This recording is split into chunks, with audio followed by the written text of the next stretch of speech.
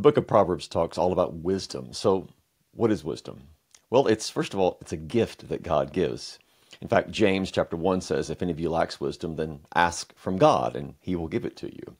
And Proverbs 2 says, The Lord gives wisdom.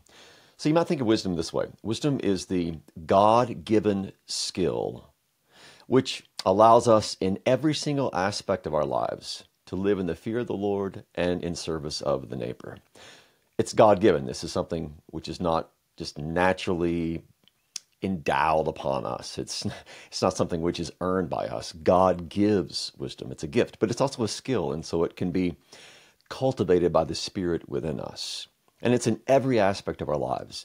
There aren't religious and non-religious aspects of our lives. Everything that we do, we do as religious people, as God's creatures, and we exercise wisdom in living in the fear of the Lord, in awe and reverence of Him, in trust of Him, and then also in the service of the neighbor. Because life is not about me or you, life is about others, those whom we serve.